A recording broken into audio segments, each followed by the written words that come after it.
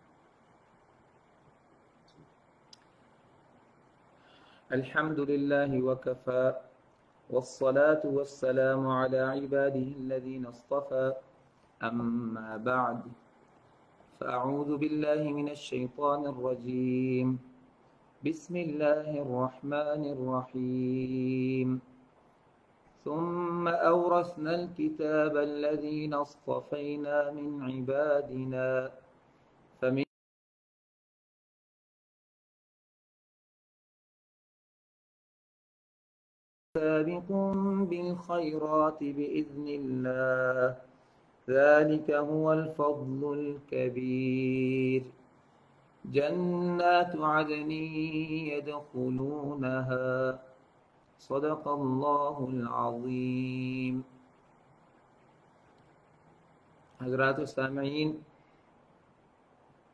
अल्लाह रब्बुल इज़्ज़त का लाख लाख शुक्र है कि अल्लाह रब्बुल इज़्ज़त ने हमें रमज़ान मुबारक का महीना बाबरकत महीना दोबारा नसीब फरमाया है।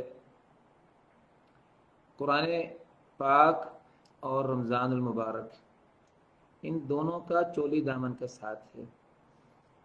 अल्लाह रब्बुल इज़्ज़त कुरान पाक में फरमाते हैं, शहरु रमदान उनजिल फीहिल कुरान के कुरान और रमज़ान का बाहमी ताल्लुक ये है कि रमज़ान जो है, ये कुरान पाक का महीना है। इसमें कुरान पाक नाजिल हुआ। और आपके ये बात इलम में रहनी चाहिए कि रमज़ान के साथ सिर्फ़ कुरान का ताल्लुक नहीं है, बल्कि अल्लाह रब्बुल इज़्ज़त ने तमाम अकवाम दुनिया और तमाम मिलतें जो गुजर चुकी हैं सब के साथ ये मामला रखा कि उनकी जो हयात रूहानी है उसकी बेहतरीन नशो नुमा के लिए रमज़ान मुबारक को मंतखब किया। यही वजह है कि मुस्ंद अहमद वगैरह में मौजूद है कि कुरान तुरात, ज़बूर, इंजील हती के सुहफ़ इब्राहिम और मूसा भी रमज़ान में नाजिल हुए थे। आप जरा देखिए, यकम रमज़ान मुबारक को सहूफ़ इब्राहिम मूसा। ये जो है सहीफ़ नाजिल हुए। फिर नौ रमज़ान मुबारक को इंजील नाजिल हुई है। तेरह रमज़ान मुबारक को, नौ को तोरात नाजिल हुई है और तेरह को इंजील नाजिल हुई है। तेईस को ज़बूर नाजिल हुई है और सताईस रमज़ान को कुरान पाक नाजिल हुआ। बाद दीगर रवायात में थोड़ी सी तरीक़ों का फ़र्क भी मिलता है। लेकिन ये बात मुतफ़ अलई है कि तमाम आसमानी किताबें रमज़ान में नाजिल हुई हैं। अब कुरान का ये जो ताल्लुक़ है रमज़ान से, इसको मज़ीद समझने के लिए आप ज़रा नबी सल्लल्लाहु अलैहि वसल्लम की तरफ़ तशरीफ़ लाएँ तो हम देखते हैं कि रमज़ान और कुरान, आ, हजूर सलाम ने इसका खसूसी ताल्लुक अपने अमल से पेश करके दिखाया। आ हजूर सलाम रमज़ान मुबारक में बिलखसूस जितना हिस्सा साल भर में कुरान का उतरा हुआ करता था, उसका दौर फरमाया करते थे। हज़रत जबरील अमीन सलाम उनके साथ। यहाँ तक के हर साल पूरे कुरान का दौर होता है जो नाजिल शुदा कुरान पाक का हिस्सा हुआ करता। और ज़िंदगी के आखिरी साल में जबकि तकरीबन कुरान मुकम्मल का मुकम्मल उतर चुका था तो आ हजूर सलाम ने जबरील अमीन सलाम से दो दफ़ा कुरान पाक का दौर फरमाया है। दो दफ़ा पूरा कुरान का दौर फरमाया। और इस दौर में कुरान पाक की जो तरतीब, मौजूदा किताबी तरतीब है, इसका भी अहतमाम फरमाया जाता। जैसे कि हम जानते हैं कि कुरान पाक जब नाजिल होता था तो वो मौजूदा किताबी तरतीब नाजिल नहीं हुआ। सबसे पहले सूरत अलक नाजिल हुई थी, फिर सूरह अलमुदसर नाजिल हुई और इसी तरह दीगर किताबें हैं, दीगर सूरतें हैं। तो ये जो मौजूदा कंपाइलेशन हुई है कुरान की, ये वाली तरतीब वो है जो कि नबी वसल्लम का जो रमज़ान में आ हजूर से दौर हुआ करता। बिलखसूस जो अर्जा अखीरा है, आखिरी दौर है ये उसके मुताबिक तरतीब है जो इस वक्त हमारे सामने दो गत्तों के माबेन जो कुरान पाक छपा हुआ प्रिंटेड हालत में मिलता है, ये वो तरतीब है। और रिवायात में आता है कि रमज़ान मुबारक के हवाले से सहाबा का ये अंदाज था कि रमज़ान शुरू होते ही, उसका चाँद निकलते ही वो अपने कामों को समेट दिया करते। हती कि सड़कें और शाहराहें जो है वो भी खाली हो जाया करती थी। और सनसनाहट में जब लोग गुजरा करते तो घरों से इस तरह आवाज़ें आती जैसे मक्खी, शहद की मक्खी बनबनाट हो रही उसकी हो रही होती है। इस तरह की आवाज़ जो है ना दबी दबी घरों से कुरान पाक की तलावत किया करती थी। गोया कि तमाम घर वाले तमाम काम छोड़कर रमज़ान में कुरान पाक की तलावत के साथ मशहूर हो जाया करते थे। यहाँ तक कि मदीना मनवरा जो कि वही का मंबा भी था, और बाद अजा भी इलम का सबसे बड़ा मरकज रहा है। और क़्यामत से करीब भी मक्का और मदीना में इस्लाम सिमट आएगा। हर दौर में मदीना जो है, ये इलम का सरचश्मा और मरकज रहा है। सबसे ज़्यादा हदीस का इलम मदीना के अंदर हमेशा बाकी रहा है। हाँ हजूर सलाम की सीरत और सुन्नत और हदीस और सुन्नत। है ये, इलम का, वही के मतलब का सच मदीना में ताबईन निज़ाम में सबसे बड़े आलिम इमाम मालिक बिन अनस, जो चार फुकहा में सबसे बड़े इमाम शुमार होते हैं, वो इस मदीना तयबा में हदीस के सबसे बड़े उस्ताद हैं। और इनकी किताब मुत्ता इमाम मालिक, ये हदीस की किताबों में इस एतबार से सबसे नुमाया शुमार की जाती है कि सही बुखारी की किताबत से पहले ये बात कही गई है कि मोता इमाम मालिक जो है, ये असाहुल कुतुब बाद किताबिल्ला है। यानी कुरान पाक नाजिल हुआ। और उसमें कोई चीज़ कमज़ोर और ज़यीफ़ नहीं है। इस तरह मोता इमाम मालिक बुखारी शरीफ से पहले, कुरान पाक के नाजिल होने के बाद सबसे ज़्यादा सही किताब थी जो कि अल्लाह रब्बुल इज़्ज़त ने नाजिल फरमाई थी। फिर इमाम मालिक रहमत के शिकत इमाम शाफ़ी रहमत हैं, फिर इमाम शाफ़ी से इमाम अहमद बिन हम्बल रहमत ने पढ़ा। फिर उनसे इमाम बुखारी रहमत ने पढ़ा, गोया इमाम बुखारी तीन वास्तों से इमाम मालिक के शगिर्द हैं। तो बुखारी शरीफ इमाम बुखारी लिखते हैं तो फिर बुखारी शरीफ को मुकाम ज़्यादा मिल गया और कहा गया कि असाहुल कुतुब बाद किताबिल्ला के मुकाम मरतबे पर सही बुखारी जो है, ये फ़ाइज है। लेकिन पहले मोता इमाम मालिक फाइज थी। मोता इमाम मालिक के मुसनफ़ इमाम मालिक रहमत के बारे में आता है, उनके तस्करा और अहवाल ज़िंदगी में कि रमज़ान मुबारक का बाबरकत महीना शुरू होता तो वो सारे काम दरसो तदरीस, फ़िका और तबलीग दीन, यहाँ तक के दरस हदीस को भी मना कर दिया करते थे, रोक दिया करते थे। और वो मुतवजह हो जाते सिर्फ़ और सिर्फ़ नफ्स और ज़ाती शख्सियत अपनी ज़ात की तरबियत की तरफ़। चूँकि आप जानते हैं कि रमज़ान में तमाम शयातीन जो है कैद कर दिए जाते हैं, जन्नत के तमाम दरवाजे खोल दिए जाते हैं, और कोई एक दरवाज़ा भी जन्नत का ऐसा नहीं होता जो बंद हो। जहन्नुम के तमाम दरवाजे बंद कर दिए जाते हैं। कोई एक दरवाज़ा भी ऐसा नहीं होता जो खुला हो, यानी बेबरकती के तमाम सामान समेट दिए गए, तमाम सरकस शयातीन बंद कर दिए गए। सिर्फ़ अब नफ्स जो है ये आज़ाद है और नफ्स के अंदर जो शैतानियत, जबिली इंसान की जो शहवानी ख्वाहिशें होती हैं, ये आज़ाद हैं। इनको इंसान ने सारा साल गुना कर करके बिगाड़ दिया होता है, उसके आते बिगड़ गई होती हैं। तो रमज़ान में रोज़ा और फिर रात के क़्याम और कुरान पाक की तिलावत के साथ नफ्स की तरबियत करना ये मकसूद है। तो इमाम मालिक रहमत और आज ये मामूल है बड़े बड़े का, दुनिया भर के से हमारा रबता रहता है पढ़ने और इस्तफादा करने के सिलसिले में। रमज़ान में सब उलमा जो हैं, वो कुरान पाक की तिलावत की तरफ़ मुतवजह हो जाते हैं। दरस हदीस और तबलीग दीन और दीनी की खिदमत, तसनीफ़ व तारीफ़ सब कुछ बंद कर देते हैं। तो इमाम मालिक सिर्फ़ कुरान पाक की तिलावत किया करते थे कि मेरे नफ्स की तरबियत हो, मेरे ज़ात की तरबियत हो।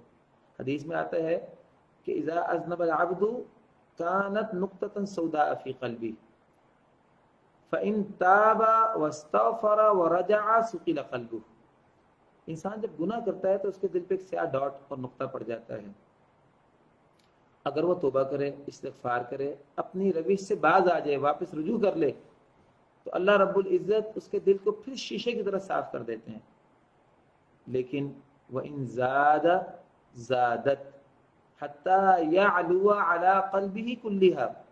अगर इंसान गुनाह करता जाए, गुने पे गुनाह करता जाए, बाज ना आए, ना इस्तफार करे, ना तोबा करे तो एक वक्त आता है कि पूरा दिल ही मायल हो जाता है।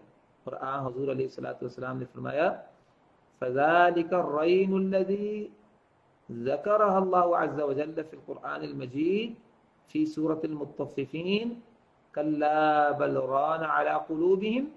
मा कानू यक्सिबून ये वो जिंग, जंग है दिल का। जैसे लोहे को जंग लग जाता है तो वो कितना सख्त और मज़बूत होता है, फिर भी घुरघुरा हो जाता है।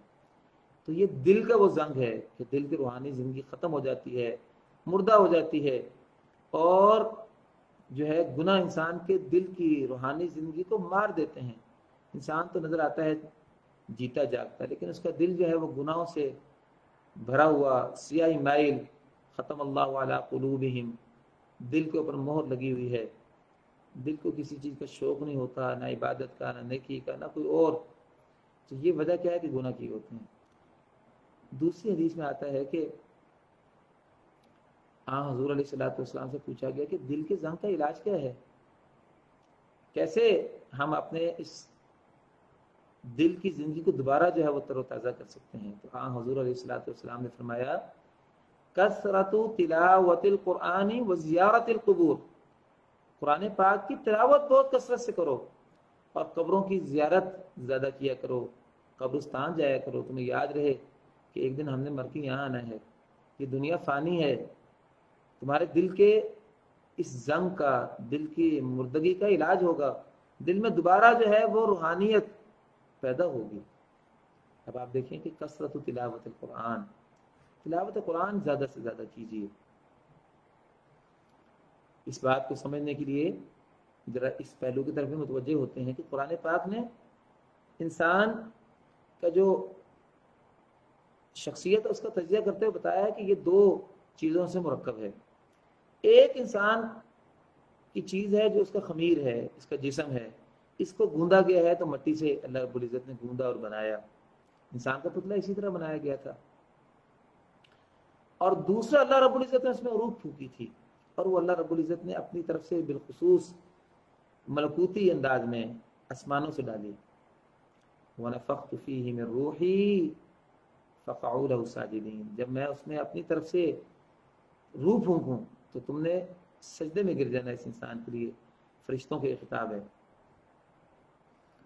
तो अल्लाह रब्बुल इज़्ज़त ने रूह की नस्बत अपनी तरफ़ की है और खुद अल्लाह रब्बुल इज़्ज़त आसमानों पर अरश पर मुस्तरी हैं। तो ये रूह आसमानों से इंसान में फूकी गई है, डाली गई है। कुरान पाक कहता है कि ये जो इंसान की रूहानी ज़िंदगी है और इंसान की जिस्मानी ज़िंदगी है, जिस्मानी ज़िंदगी की भी गज़ा है। रूहानी ज़िंदगी की भी गज़ा चाहिए। इंसान अगर जिस्मानी ज़िंदगी को तो खूब जो है उसका ध्यान करे। खाना, पीना, सोना, आराम, ये सब चीज़ें इंसान की रूहानी ज़िंदगी की ज़रूरतें हैं। जिस्मानी ज़िंदगी की ज़रूरतें हैं। इंसान ना सोए तो इंसान जो है उसका जिसम टूट फूट का शिकार हो जाता है, बुखार चढ़ जाता है। खाना पीना ना हो तो जैसे गाड़ी में पेट्रोल नहीं डाला जाता तो गाड़ी चलती नहीं है। इंसान चल नहीं सकता, नहीफ और लागर हो जाता है। इसी तरह अगर जिस्मानी ज़िंदगी को तो इंसान खूब तोाना रखे, लेकिन इंसान की रूह जो है वो गजा हासिल न कर रही हो तो ये मुनाफिकीन की ज़िंदगी है। वह इज़ार तो अजीब का अजसाम हम सूरा मुनाफिकून में फरमाया कि जब तू इनके जिस्मों को देखेगा, ए नबी, ए इंसान तो ये मुनाफिकीन जो हैं, इनके जिस्म बहुत हट्टे कट्टे मोटे, ताज़े, और आपको बहुत ज़्यादा जो है वो अच्छे लगेंगे, बहुत सरशार नज़र आएँगे। जब इंसान अच्छी खुराक खाता है तो इंसान के रंगत काली हो तो वो सफ़ेद हो जाती है। इंसान के जिसम के अंदर तरोताजगी नज़र आती है, चेहरा चमकता हुआ नज़र आता है। लेकिन इंसान का ये जो रूह है, इंसान का जो ज़मीर है, इंसान का जो अंदर का इंसान है, इसकी गज़ा को हम ध्यान ही नहीं करते। और इसकी गज़ा क्या है? इसकी गज़ा जो है, ये कुरान पाक की तिलावत है। कुरान पाक में मौजूद है वकदारिक अवहैना इलैका रूहम मिन मा तदरी मल किताब वलल ईमान, वलाकिन जअलनाहु नूरन नहदी बिही मन नशाउ मिन इबादिना। हमने आपकी तरफ़ रूह को नाजिल किया सूरत शुरा की आखिरी आयत हैं। वकदालिक अवहैना इलैका रूहम अमरिना। हमने आपकी तरफ़ रूह को नाजिल किया। अब आप देखेंगे रूह से क्या मुराद है? सब मुफसरीन ने इस रूह से मुराद कुरान पाक को लिया है कि हमने आसमान से आपकी तरफ़ कुरान पाक को उतारा। अब इसको रूह क्यों कहा गया है? क्योंकि इंसान का जो अंदर का इंसान है, ये उसकी गजा है। जैसे जिसम में रूह ना हो तो जिसम मुर्दा है। इसी तरह अगर अंदर के इंसान को रूह, यानी कुरान पाक से गजा ना मिले, वो मुर्दा हो जाता है। इसलिए कुरान पाक को रूह करार दिया गया है, क्योंकि इंसान की रूहानी ज़िंदगी की बुनियाद कुरान की तलावत, कुरान पाक के साथ ताल्लुक है। अब आप देख लीजिए कि चार फरिश्ते जो हैं, ये बड़े फरिश्ते शुमार होते हैं बरगुजीदा फरिश्ते हैं, तमाम फरिश्तों के सरदार हैं। इनमें सबसे मुकर्रब और सबसे जलील कदर फरिश्ता रूहुल कुदस और रूहुल अमीन, जबरील अमीन है, जो तमाम अम्बिया के पास आसमानी किताबें लेकर नाजिल हुए और आखिरी किताब कुरान पाक भी लेकर यही उतरे थे। इनका नाम क्या है? लफत क्या है? रूहुल कुदस, या रूहुल अमीन, नजल भी रूहुल अमीन, अला कल्बिक कुरान कहता है कि इसको अर्रूहुल अमीन लेकर नाजिल हुए हैं, इस रूह को, ये जो कुरान की रूह है। तो जबरील अमीन को रूहुल कुदूस या रूहुल अमीन क्यों कहा जाता है? क्योंकि ये इंसान की रूहानी ज़िंदगी की बुनियाद बनते हैं, इसलिए ये रूह फूंकने वाले फरिश्ते हैं।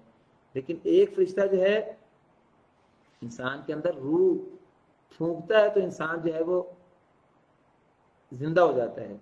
माँ के पेट में चार महीने बाद फरिश्ता इसराफील, इसराइल, इसराफील, मिकाइल, ये चार फरिश्ते हैं।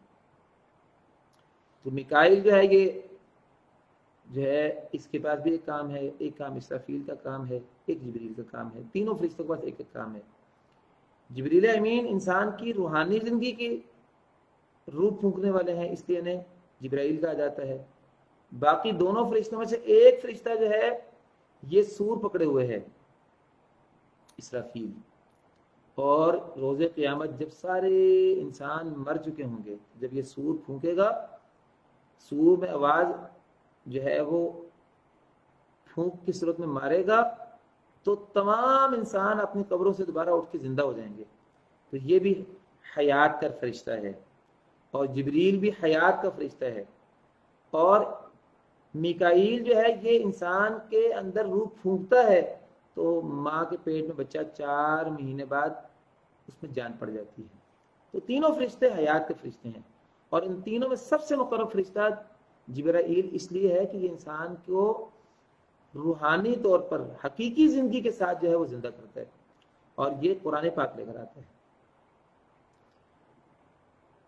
मेरे अजीजान, आपने गौर किया कि तीन फरिश्ते जो हैं, इनका काम हयात के निज़ाम को जारी करना है। और चौथा फरिश्ता इसराइल ये इंसान की ज़िंदगी का खात्मा करता है। इंसान की रूह कब्ज करता है। तो कुरान पाक के इस मुकाम, मरतबा को हमें समझना चाहिए कि कुरान पाक कितनी अहम और कितनी बुनियादी चीज़ है। इन बातों के बाद अब हम आते हैं कुरान और रमज़ान के बाहमी ताल्लुक की तरफ़ कुछ बातें मजीद बयान करते हैं। हमने ये बताया कि कुरान पाक रमज़ान मुबारक की सताईसवीं रात को नाजिल हुआ। और सताईसवीं रात में यक बारगी नाजिल हुआ, लेकिन कुरान पाक आसमानों से तो पहले आसमान पर, ये जो आसमान दुनिया गिराता है, इसमें सताईसवीं रात को पूरा उतर गया था। लेकिन फिर वहाँ से तेईस सालों में थोड़ा थोड़ा करके लम्हा बलम्हा वक़्त के साथ साथ ज़रूरत के पेश नज़र नाजिल होता रहा यहाँ तक कि तेईस सालों में कुरान पाक फिर मुकम्मल हो गया। लेकिन नाजिल ये सिर्फ़ सताईसवें रमज़ान को एक ही रात में हो गया था। बाद रिवायत के मुताबिक पच्चीस रमज़ान की बात भी आई है। लेकिन मैं पहले बता चुका हूँ कि रिवायात में कुछ फ़र्क है, लेकिन ये सब का इतफाक़ है कि इन्ना अनजल्नाफ़ी लैलतुल इसका नजूल लैलतुल में हुआ है। इन्ना अनजल्लाफ़ी लैलत मुबारकतिन। इन्ना कुन्ना मुंजरीन। सूरत में आता है कि हमने इसको लैलत मुबारक में नाजिल किया है, और वो लैलतुल है। इस कुरान पाक की वजह से रमज़ान का महीना बाबरकत हुआ। वो रात जिसमें नाजिल हुआ, वो रात लईलतुल कदर लाई, कदर मंजलत की रात लाई। जो फरिश्ता इसको लेकर आया, वो इस कुरान की वजह से सबसे मजद फरिश्ता बन गया। जिस नबी पर यह किताब नाजिल हुई, वो नबी नबियों में सबसे बड़ा नबी सैदुल अंबिया बन गया। और जिस उम्मत पर ये कुरान नाजिल हुआ, जिनके लिए बतौर हदायत उतारा गया, वो उम्मत, तमाम उम्मतों के सरदार बन गई। इस कुरान से जो जुड़ गया, उसने अजमत पा ली, क्योंकि ये कुरान अजमत वाला है। इसीलिए नबी सल्लल्लाहु अलैहि वसल्लम का इरशाद है यरफ़िल्लाहु बिहाज़ल किताब अक़वामन व आखरीन जिस शख्स ने इस कुरान से नाता जोड़ लिया, जितना कुरान पाक अजमत वाला है बुलंदोबाला है, इतना ही वो अजमत वाला और बुलंदोबाला हो जाएगा। और जिसने कुरान से नाता तोड़ दिया, जितना कुरान से नाता तोड़ने की वजह से इंसान को जो है वो बर्बादी मिलती है, इतना वो बंदा भी खसारे में और गुमराहियों में जा पड़ता है। जो कुरान से नाता तोड़ देता है। मेरे भाइयों, इस बात पर गौर कीजिए। हामले कुरान बनना बहुत ही बड़ी बात है। मैंने जिन आयात की तलावत आज के दरस और लेक्चर के आगाज़ में की, ये सूरत फातिर की दो आयात हैं जिनकी मैंने तलावत की थी। और सूरत फातिर की इन आयात का तर्जमा समाप्त करना चाहिए। मेरे नज़दीक कुरान पाक की सबसे ज़ोरदार आयात, जो कुरान पाक की फजीलत के बारे में नाजिल हुई हैं, वो ये सूरत फातिर की आयात हैं।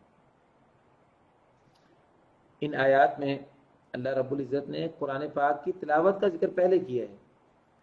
पीछे आयात में ये आ रहा है इन लदीन यतलून किताब अल्लाही व अकामसलात व अनफ़ू मम्मा रज़क़नाहुम सिर्रन व अलानियतन यरजून तिजारत लन तबूर वो लोग जो कुरान की तिलावत करते हैं, वो लोग ऐसी तिजारत करते हैं कि जो कभी जो है वो ख़त्म नहीं होगी।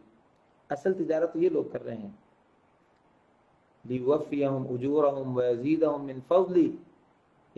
गफ़ूरुन शकूर।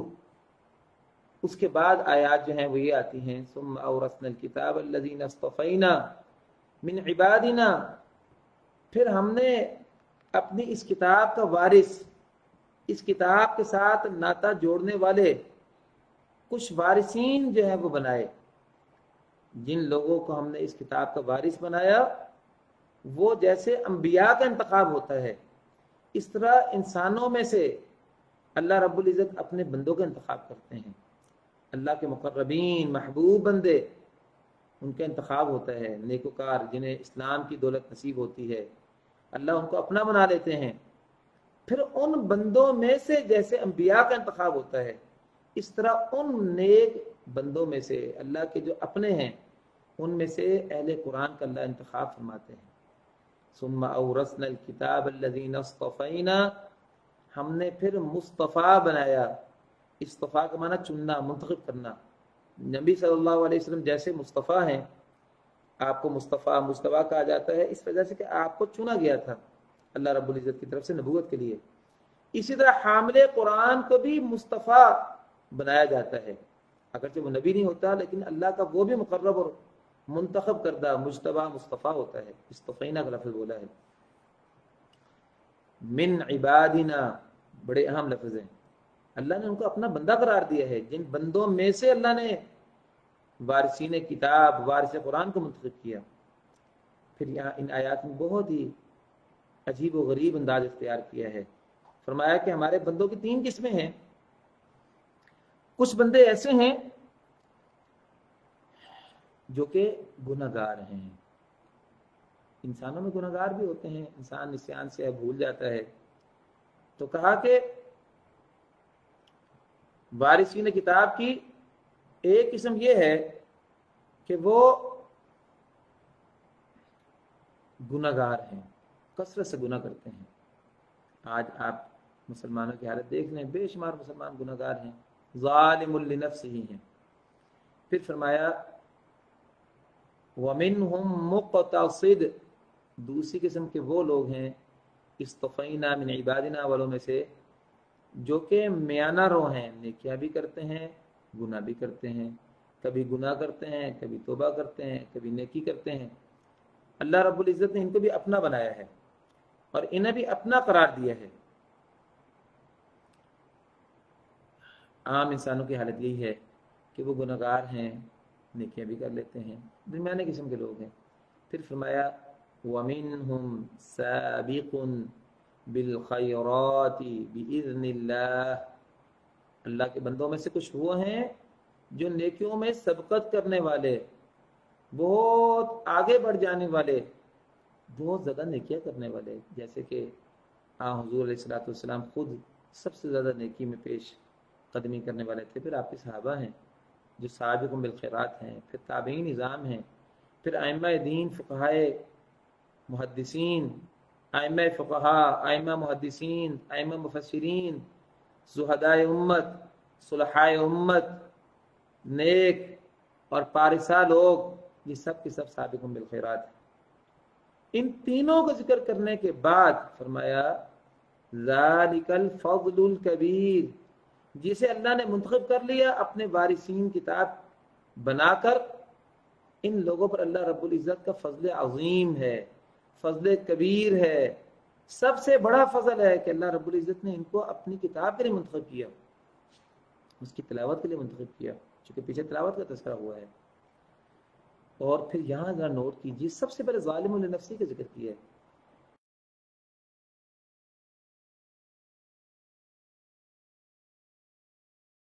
कितनी ज़बरदस्त अजीब बात अल्लाह इज़्ज़त से हमें पहुंचाई। कि गुनागार आदमी का ज़िक्र सबसे पहले किया कि उसको भी यकीन हो कि मेरा भी अगर वारिसी ने किताब से, कुरान पाक से ताल्लुक जुड़ गया तो कुरान इतनी अजमत वाली किताब है कि बात यह कि कुरान पाक की अजमत की वजह से मैं भी अल्लाह रब्बुल इज़्ज़त के मुकरबीन में शामिल हो जाऊँगा, चाहे कितना गुनागार क्यों ना हुआ। गया हम गुना तो छोड़ नहीं सकते तो मेरे भाई कुरान से नाता तो जोड़ें, कुरान से ताल्लुक तो बनाएँ, कुरान की तलावत तो करें, इसको समझें, इस पर अमल करें इसके लिए तो अपने को तैयार करें।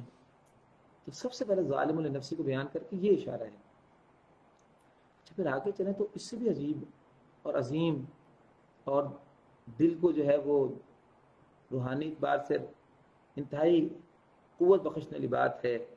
फरमाया, जन्नत आदनी यदखुलूनहा। ये जितने भी लोग हैं, जो वारिसीन किताब हैं, जिनकी पीछे तीन किस्में बयान की गई हैं, जिनमें सबसे पहले गुनागारों का तस्करा किया गया है, फिर दरमियाना रो, नेकियाँ और गुना करने वाले लोगों का तस्करा है। फिर उसके बाद जो है, तस्करा जब किया तो फिर नेक लोगों का तस्करा किया। ये सब के सब लोग रोज़े क़यामत जन्नत में दाखिल होंगे, क्योंकि ये कुरान पाक के साथ जो है, वो ताल्लुक रखने वाले लोग थे। और अल्लाह रब्बुल इज़्ज़त ने कुरान पाक के साथ नाता रखने वालों को जहनुम में नहीं भेजना अल कुरान वसियाम यशफ़ानी फ़युशफ़ानी हदीस में आता है कि कुरान भी, रोज़ा भी, ये दोनों आप इसमें लाजम मजलूम है। अभी बात चल रही है, चल रही थी तो कुरान और रमज़ान का बाहमी ताल्लुक है। देखिए, अल्लाह के रसूल दोनों को इकट्ठा बयान कर रहे हैं। कि कुरान और रोज़ा दोनों रोज़ क़्यामत जो है, उन्हें कहा जाएगा, आओ भी सिफारिश करो, जो तुम्हारे से नाता रखने वाले, तुम्हारे मुतालिकीन थे, उनसे जो है वो अपने ताल्लुक का इजहार करो। तो ये शिफात करेंगे रोज़ा और कुरान और दोनों की शिफात को कबूल किया जाएगा। फयुशफ़ान अल्लाह मानेगा तीस आयात हैं। एक शख्स जिसके बारे में, उसके गुनाहों की वजह से जहन्नुम का फैसला हो गया होगा। कुरान की वो सूरत आएगी, अल्लाह से सिफारिश करेगी, अल्लाह रबुल्ज़त उस सूरत की सिफारिश पर उस शख्स को जो है वो जहनुम से आज़ाद करके जन्नत में दाखिल फरमा देंगे। ये सूरत सूरत सूरतुलमुल्क है। मेरे भाइयों, बहनों, ये जो बात यहाँ बयान की गई है कि वारिसन किताब गुनागार भी क्यों ना हो, ये जन्नत में दाखिल होंगे। ये बात हदीस में भी मौजूद है। हाँ हजूर सलाम से सुनन दारनी में हज़रत उकबा बिन आमिर रज़ी अल्लाह तु सहाबी रसूल हैं, फरमाते हैं हाँ हजूर सलाम ने फरमाया, लऊ कुरान फ़ी इहाबिन, सुम्मा उल्किया फिन्नारी महतरकत अगर कुरान पाक को चमड़े में डालकर लपेट दिया जाए, सुम्मा उल्किया फिन्नार फिर चमड़े पे लिपटा हुआ ये किताब और ये कुरान, इसे उठा के जहन्नुम में डाल दिया जाए। तो उस आग को, इस बात की इजाज़त नहीं है कि वो इस चमड़े में लिपटे हुए कुरान को, और वो कुरान जिस चमड़े में मौजूद है, उस चमड़े को जला सके। अब शारीन हदीस ने यहाँ चमड़े से मुराद क्या है? इसकी बात की है, वजाहत की है। और सबका इतफाक है कि इससे मुराद वो सीना है जिसमें कुरान पाक महफूज होता है। कुरान पाक हिफज किए जाते हैं। वो सीना अल्लाह रबुल्ज़त अपना बना लेते हैं। उस सीने को जिसमें ये किताब महफूज है, अल्लाह रबुल्ज़त उस सीने को बहुत अजमत देते हैं। और आग से मुराद यहाँ कोई दुनिया की आग नहीं है, जहन्नुम की आग है। जो दुनिया की आग से सत्तर गुना ज़्यादा जो है वो गर्म है, सख्त है। इस आग से मुराद वो आग है। और चमड़े से मुराद हाफिज कुरान का सीना है। तो जिस सीने में कुरान चला गया, ये कुरान अल्लाह की कलाम है, अल्लाह की मखलूक नहीं है। वो आग, जहन्नुम की आग अल्लाह की मखलूक है। मखलूक का क्या काम कि वो खालिक के ऊपर असरअंदाज हो सके? रोज़े क़यामत हदीस में आता है कि जब जहन्नुम में अल्लाह रब्बुल इज़्ज़त जो है वो जहन्नुम को डाल देंगे तो जहन्नुम फिर भी खाली रहेगी। सही बुखारी मुस्लिम की रिवायत है तो अल्लाह रब्बुल इज़्ज़त से वो कहेगी हलमिम मजीद यौम नकूल जहन्नम हलिम तला व तकूल हलमिम मजीद। जहन्नुम कहेगी, जी, और लाओ, अभी मुझमें बड़ा अभी खला मौजूद है। तो अल्लाह रब्बुल इज़्ज़त जहन्नुम पर अपना पाँव रखेंगे, या जहन्नुम में अपना पाँव रखेंगे। जहन्नुम की आग है, अल्लाह रब्बुल इज़्ज़त को नहीं जिला सकती। इसी तरह ये आग, जैसे अल्लाह रब्ज़त के ऊपर असरअंदाज नहीं हो सकती, अल्लाह की मखलूक है। अल्लाह के लिए आग और पानी, फूल और आग एक जैसे हैं। तो ये आग कुरान पाक के ऊपर भी असरअंदाज नहीं हो सकती, क्योंकि कुरान पाक अल्लाह रब्ज़त की सिफत है। जैसे अल्लाह रब्ज़त है, वैसे अल्लाह की कलाम है। और जिस सीने में ये रच बस गया, आप जानते हैं कि हाफिज कुरान के सीने को और इस कुरान को अलग नहीं किया जा सकता। आप ये दिल के कुछ चार टुकड़े करके कुरान तलाश करना चाहेंगे तो नज़र नहीं आएगा आपको।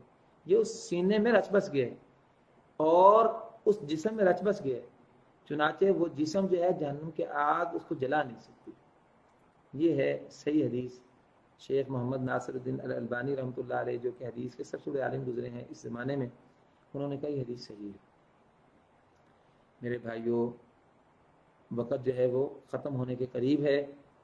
कुरान से नाता जोड़ लीजिए कुरान से ताल्लुक़ बना लीजिए। सलफ रमज़ान मुबारक में कुरान पाक के साथ नाता जोड़ लेते थे। मैंने बयान किया, इमाम मालिक रहमत रमज़ान में सारे काम हती के दरस हदीस भी बंद कर देते और सिर्फ़ अपने नफ्स की तरबियत के लिए कुरान पाक की तलावत के साथ नाता जोड़ देते थे। सबसे इकसीर नुस्खा कुरान पाक है, जिससे दिल का जंग दूर हो सकता है, गुनाहों का इलाज हो सकता है। ये रमज़ान के महीना एक रिफ्रेशर कोर्स है, आपने तीस दिन गुजारने हैं, फिर ग्यारह महीने आप के लिए शैतान खोल दिए जाएँगे और दोबारा जो है वो आप पर हमले करेंगे। लेकिन इतना आपने आपको तैयार कर लीजिए, इतनी ट्रेनिंग ले लीजिए कि शैतान आप पर जो है वो फिर कब्जा ना पा सके। तो हमारे असलाफ, उनका अंदाज था कि रमज़ान को कुरान की तलावत से बात किया करते इमाम शाफी रहमत के बारे में आता है कि वो रमज़ान मुबारक में साठ अदद कुरान पाक ख़त्म किया करते थे तिलावत के साथ। साठ अदद कुरान पाक तिलावत के साथ वो ख़त्म करते थे। एक कुरान पाक दिन में, एक कुरान पाक रात में। आप कहेंगे कैसे मुमकिन है? बिल्कुल मुमकिन है जी। जो लोग कुरान के हाफिज हैं, उनसे पूछिए। एक पारा ज़्यादा से ज़्यादा आप अगर पढ़ें मुसलसल तो पंद्रह या ज़्यादा से ज़्यादा बीस मिनट मुकम्मल हो जाता है। इस हिसाब से अगर आप अंदाज़ा लगा लें, तीस पर तकसीम कर लें तो दस घंटों में कुरान पाक की तलावत हो जाती है। और हमारा दिन दस घंटों से कहीं बड़ा होता है। हमारा रोज़ा ही जो है आप देखें, आजकल चौदह पंद्रह घंटे का बन रहा है। गुजशत साल जो है, सोलह सत्रह घंटे का था। इस तरह रात जो है, वो आप देखें, कितनी लंबी है। तो इसमें कोई अचंभे की बात नहीं है। बल्कि जब इंसान मुसलसल कुरान की तलावत करता रहता है तो आहिस्ता आहिस्ता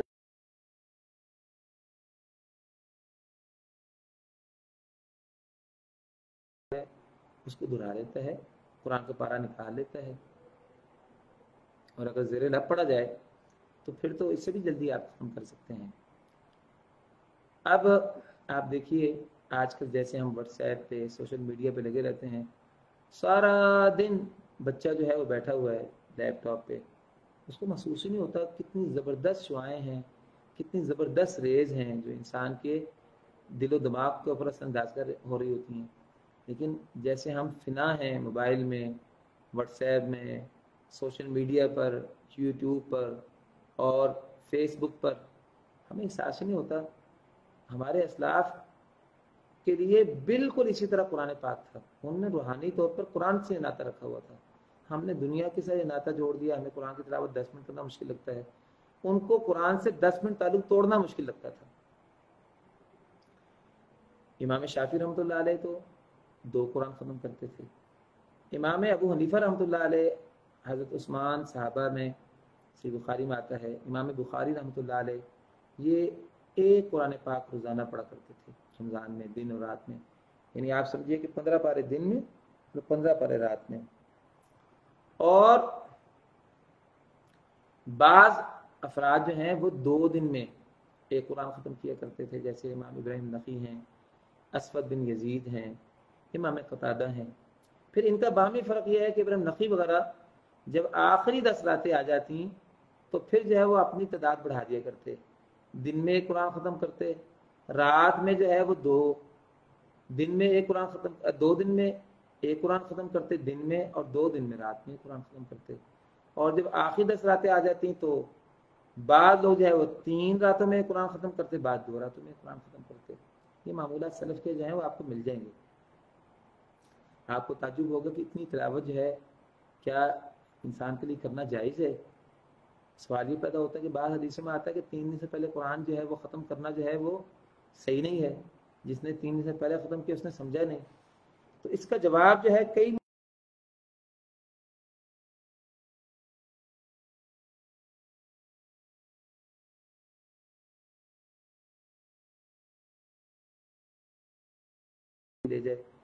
तो हरम पाक में हम साथ में बैठे हैं। फारिग हैं कारोबार भी नहीं करना, और भी कोई काम नहीं माशरे खाने पीने के बस। सोना है। तो सारा दिन आप ज़िक्र इसकार दुआ, तिलावत ही करेंगे ना। तो मसले हराम में बैठे हैं, सुबह फजर के बाद तिलावत कर रहे हैं। अल्लाह तोफ़ीक देता आप एक बजे तक, तीन बजे तक, पाँच बजे तक लगे हैं, तिलावत करी जा रहे हैं। तो अल्लाह की तोफ़ीक है। तो उसमें आप अंदाज़ा कर लें, दस बारह घंटे में कुरान पूरा निकल जाता है। तो बात यह है कि ये कहा जाए कि नहीं जब आप तिलावत ना करें। ये तो तीन दिन से पहले ख़त्म ना करें तो नहीं। सलफ ये कहते हैं कि अगर जगह जो है फजीलत वाली हो, जैसे रमज़ान है जैसे हरम पाक है, और ज़माना और वक़्त फजीलत वाला हो, जैसे रमज़ान है। अब आपको ये ना माना कि आखिरी दस रातों में सारी रात जागनी होती है। हालाँकि सारी रात जागना जो है वो जायज़ नहीं है। अल्लाह रसूल ने मना फरमाया कि इंसान सारी रात जागता रहे। तो तीन साहबी आए थे ना, जो आयशा से पूछते थे हाँ हजूर के मामूल को। तो हत आयशा ने कहा कि अल्लाह रसूल जो है वो जागते भी हैं और सोते भी हैं। तो एक साहबी कहने लगा, मैं सारी रात जागूँगा। तो अल्लाह रसूल ने कहा कि मैं तो सोता भी हूँ, जागता भी हूँ।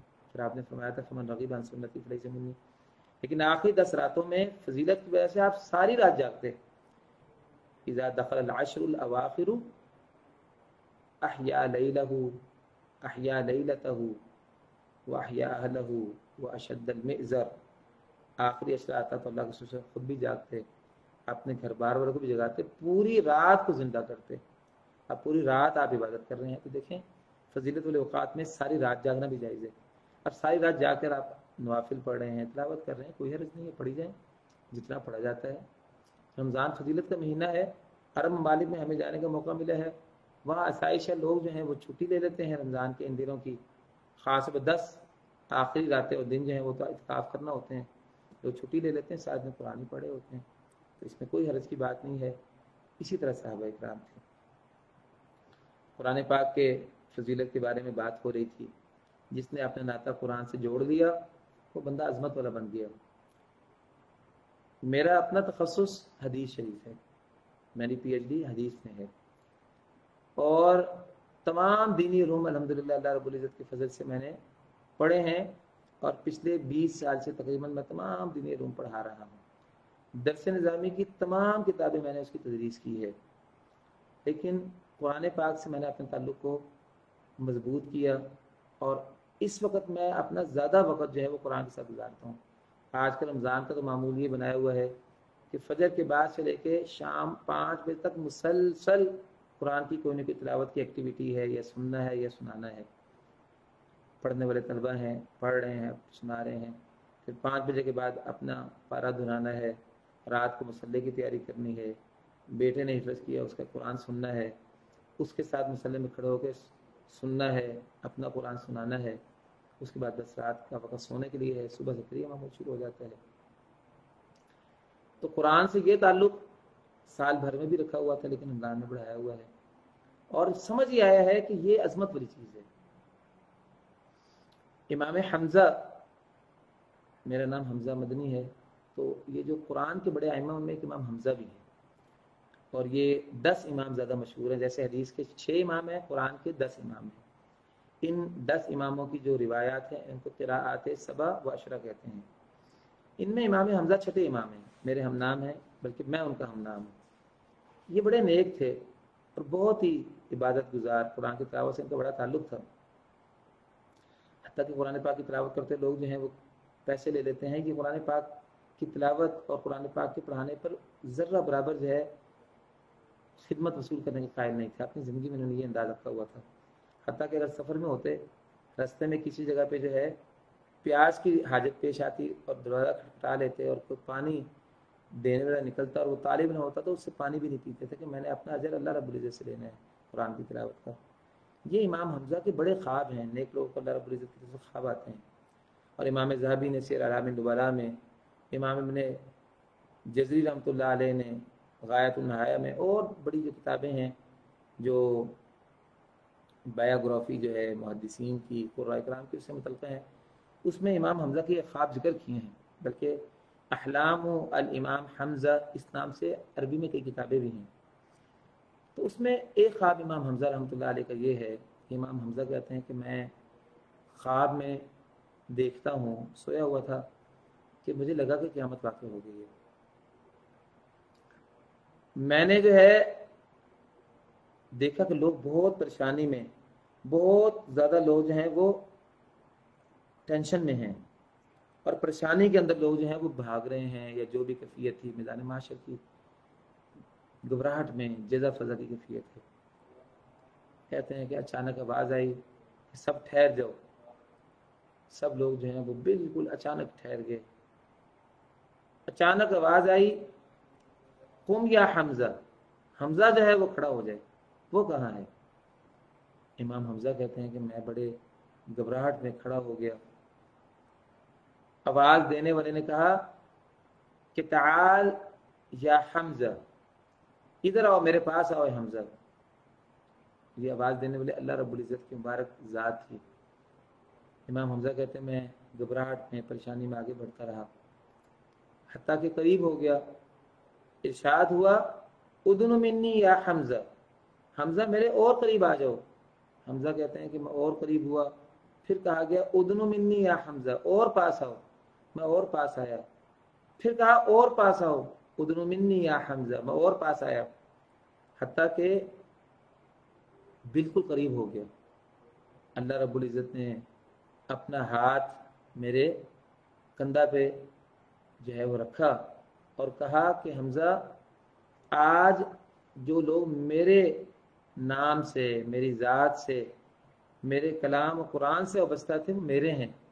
आज मैंने अजमत और उनकी तकरीम का जो है, वो इस तरह अहतमाम करना है, जैसे आज पूरी बनी नो इंसानी के सामने मैं तुम्हें अजमत दे रहा हूँ। तुमने सारी ज़िंदगी कुरान की तलावत के साथ, कुरान के साथ नाता जोड़ कर गुजारी है, और इस तरह की बातें होने लगी। बाद रिवायात उनके ख्वाब में इस वाक़े के हवाले से आई हैं, वो ये कहते हैं कि इस कैफियत में अल्लाह रब्बुल इज़्ज़त के जलालत और हैबत की वजह से जो है, मैं जो है वो ख्वाब से उठ बैठा, मैं पसीने में शराबूर था और मेरी कैफियत ये थी कि वो जो अल्लाह रब्बुल इज़्ज़त के हाथों की ठंडक थी, वो मुझे महसूस हो रही थी। मेरे भाइयों, ये अहल कुरान का मकाम मरतबा है। अहल कुरान को ये जो है वो अल्लाह रब्बुल इज़्ज़त ने अजमत दी है कि जो कुरान से जुड़ गया, वो अल्लाह रब्बुल इज़्ज़त बन गया। हज़रत इक्रमा रज़ी अल्लाह तु जब कुरान खोला करते तो उन पर गशी की कैफियत तारी हो जाती थी और अल्फाज ज़ुबान से जारी हो जाते, हाजा कलाम रब्बी, हाजा कलाम रब्बी, ये मेरे रब का कलाम है, ये मेरे रब का कलाम है। और उलमा कहते हैं कि जिस शख्स का जितना कुरान से ज़्यादा ताल्लुक है, तिलावत से ज़्यादा ताल्लुक है, उतना वल्ला रब्बुल इज़्ज़त से उसका प्यार और मोहब्बत ज़्यादा है। और जिसे अल्लाह रब्बुल इज़्ज़त कुरान से वाबस्ता कर दें, उसका माहिर बना दें। अल्लाह रब्बुल इज़्ज़त का उतना वो मुकर्रब ज़्यादा है, क्योंकि सुम्मा और रसन किताब अल्लाजीना मिन इबादिना, ये अल्लाह रब्बुल इज़्ज़त ने फरमाया है। हदीस में आता है अलमाहिरकुरान सफ़रतराम बररा। ये जो कुरान का माहिर है, ये रोज़ क़ियामत, जो जलील कदर और अजमत वाले फरिश्ते हैं, बड़े फरिश्ते जो हैं, अजमत वाले, अल्लाह रब्बुल इज़्ज़त के जो सरदार और अल्लाह रब्बुल इज़्ज़त के जो सिपा सलार फरिश्ते हैं, उनके साथ इसका मुकाम मतबा होगा। और दूसरे हदीस में आता है, युकाली हामिल कुरानी इकरा वक़रा वरतकी वरतिल कमा कुन तुरतिल दुनिया। ए हामिल कुरान तुम जो है, पढ़ना शुरू कर दो। रोज़ क़यामत इरशाद होगा, पढ़ना शुरू कर दो। और तरतील से पढ़ो, जैसे अल्लाह रब्बुल इज़्ज़त ने तरतील से पढ़ा वरतल्लाहु तरतीला। जैसे आ हजूर को हुक्म हुआ कि आप तरतील से पढ़िए वरतिल कुरान तरतीला। तरतील का माना क्या है? अली फरमाते हैं तरतील हुआ तजवीद हरूफ मारिफतूफ़ कुरान पाक को सही मखारिज और सिफात के साथ पढ़ना और इसके माना की रायत करते हुए वक़फ़ समझना कि वक़फ़ कहाँ करना है और कहाँ नहीं रुकना। ये इसके मफहूम को समझना। तो कहा जाएगा तुम तरतील से पढ़ना शुरू कर दो और चढ़ना शुरू कर दो सीढ़ियों के अंदाज में। तुम चढ़ते जाओ। जन्नत के जो है, वो मदारिज हैं, उसके दर्जात हैं। पढ़ते जाओ, एक एक आयत पढ़ते जाओ, एक एक जो है, वो मदरज चढ़ते जाओ।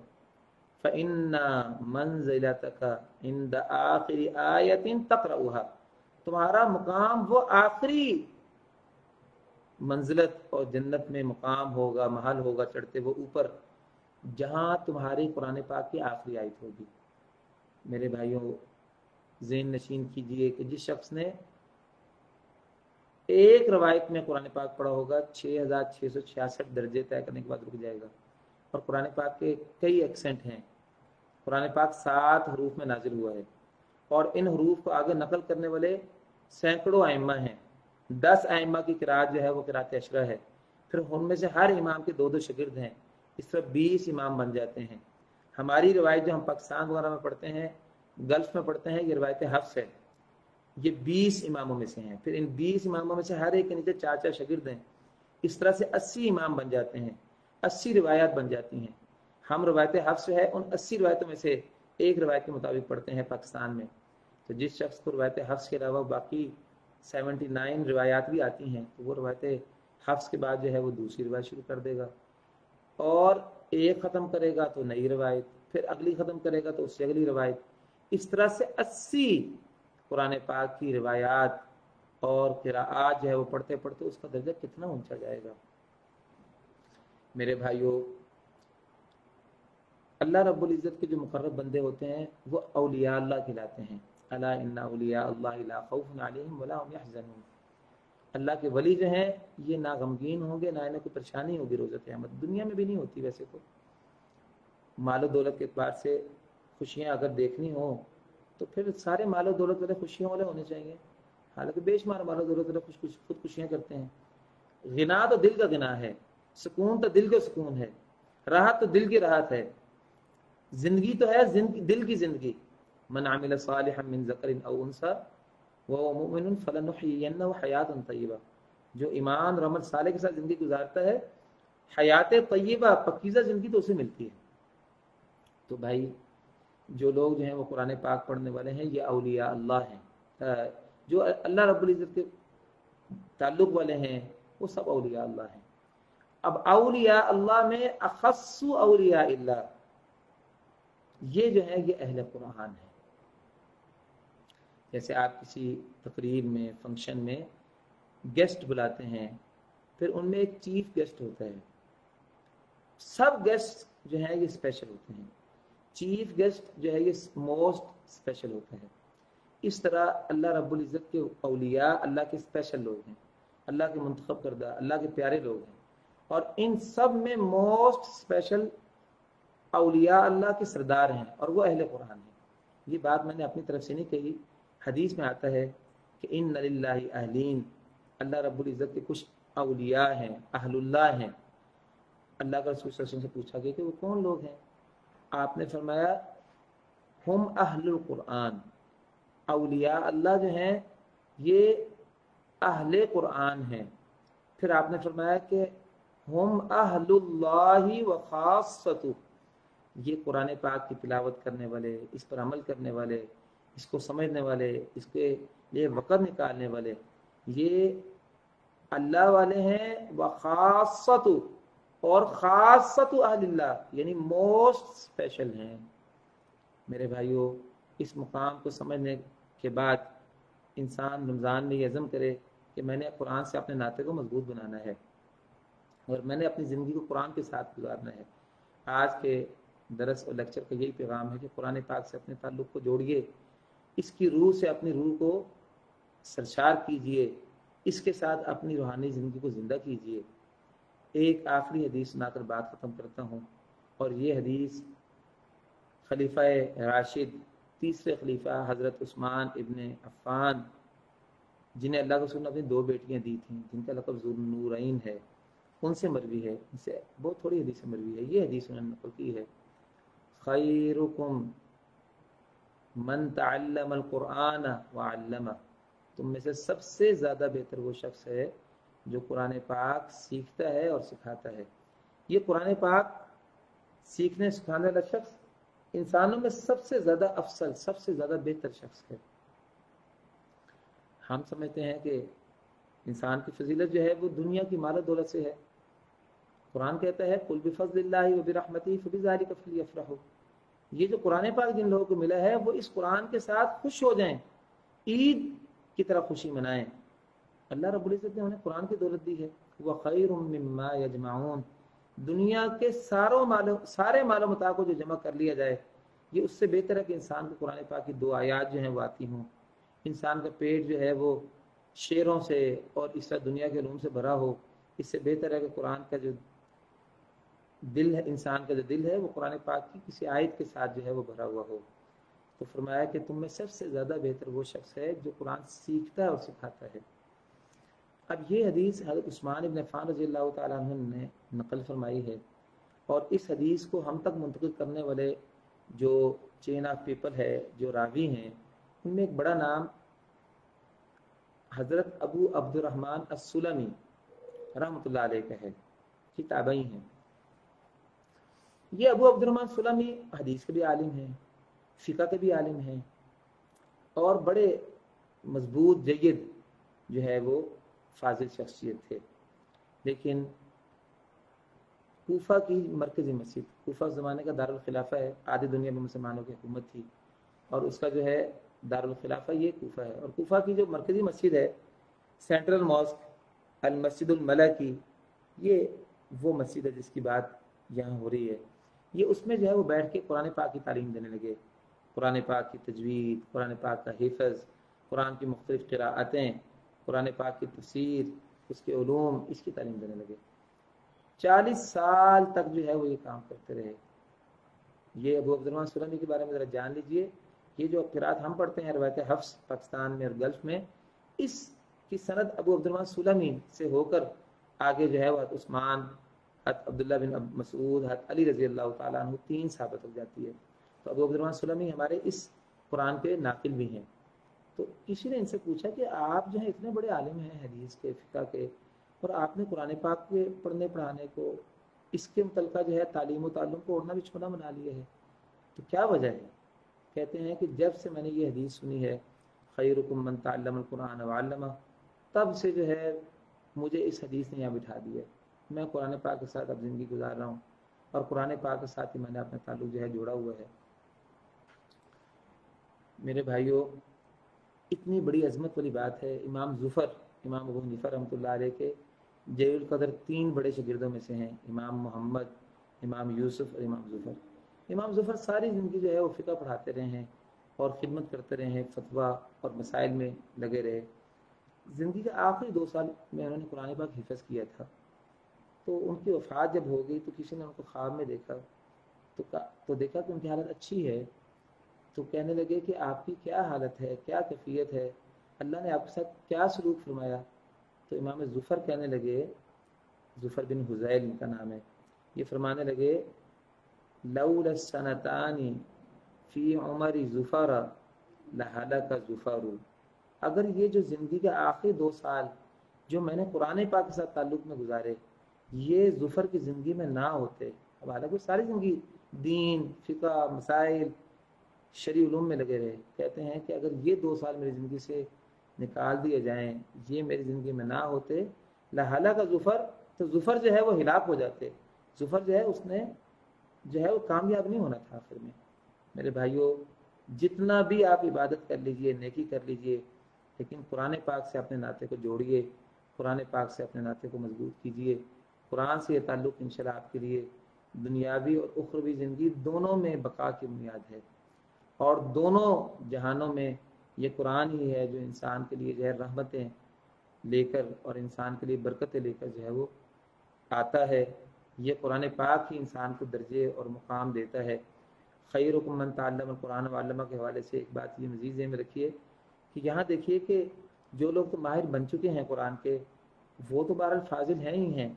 लेकिन यहाँ मन ताल्लम कुरान वालमा में पहले मन ताल्लम कुरान बयान किया है कि जो कुरान का मुतालिम बने, कुरान को सीखने के लिए वक़्त निकाले, उसको ज़्यादा प्रोटोकॉल दिए है उससे पहले बयान किया है कि तुम में सबसे बेहतर वो है जो कुरान सीखता है। पहले सीखने वाला सबसे बेहतर है और फिर दूसरे नंबर पर जो बंदा बेहतर है, वो वो है जो सिखाता है। इसलिए अगर आपका कुरान से ताल्लुक है तो बेहतर है। नहीं है तो अब मुतालमीन कुरान में शामिल हो जाइए। और सबसे बेहतर बन जाइए माहरीन कुरान मालमिन कुरान से भी बड़ा दर्जा ले लीजिए। अल्लाह रब्ज़त से दुआ है। अल्लाह रब्ज़त हमारे इलम में इजाफ़ा फरमाए। जितना कुरान पाक हमने सीखा है, इसमें अल्लाह रब्ज़त हमें मज़ीद सीखने की तोफ़ी दे। जितना कुरान पाक से हमारा ताल्लुक़ है, अल्लाह ताला हमें इस ताल्लुक़ को मज़ीद बढ़ाने की तोफ़ी दे।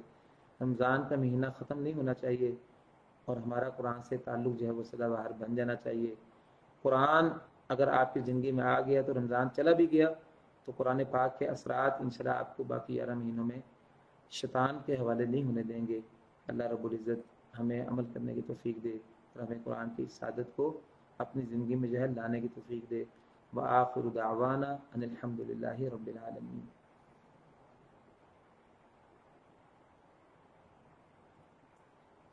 ठीक है जी, अब मुझे इजाज़त दें।